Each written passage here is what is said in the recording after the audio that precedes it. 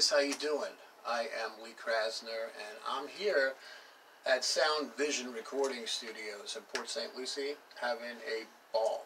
Set up the drums and kicking it and um, you're going to hear some of the uh, some of the drums uh, and some of the cymbals from Meinl and PDP and uh, uh, give a shout out to Scorpion Sticks too.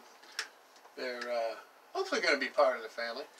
And uh, I'd like to also uh, let you guys know uh, pretty soon these two books they're going to be for sale on Amazon. Uh, one of them is is called 40 Years of Drummer that I uh, I wrote, and one is How to Make It in the Music Business. This is it, it's a it's a serious book, but it's a little humorous as well. And this one will make you laugh and make you cry. And uh, I hope you enjoy the playing and the sweat. And uh, it's been my pleasure. So, thank you.